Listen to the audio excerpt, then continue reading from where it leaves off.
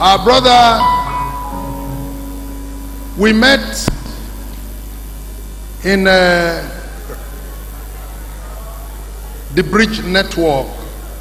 Come over. Clap for this man.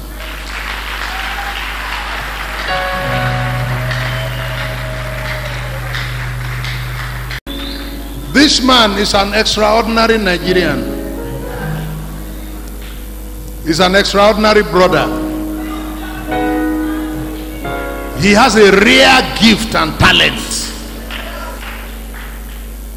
He has certain talents that those of us who have been preaching for 30 years we don't have. Clap for Jesus and this man.